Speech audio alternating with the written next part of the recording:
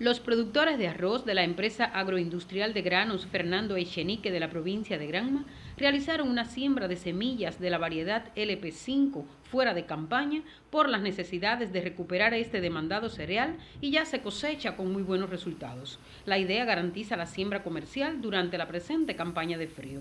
Nos encontramos en el campo 64 con 32 hectáreas sembradas de la variedad LP5 con fecha de germinación 10 de agosto. Como podemos ver, una siembra que está fuera de las campañas establecidas, porque nosotros cerramos campaña 31 de julio en la primavera y 28 de agosto en el frío.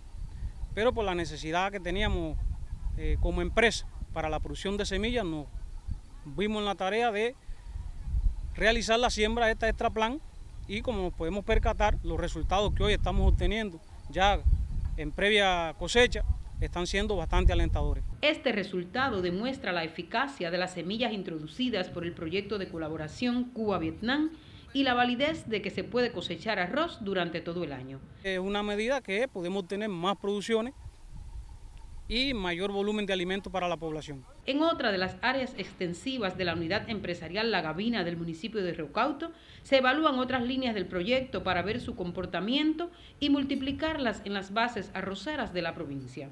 El arroz se le nota buena salud, buen tamaño, buen vigor. Eh, son variedades que su ciclo eh, es alrededor de los 95, 105 hasta 110 días.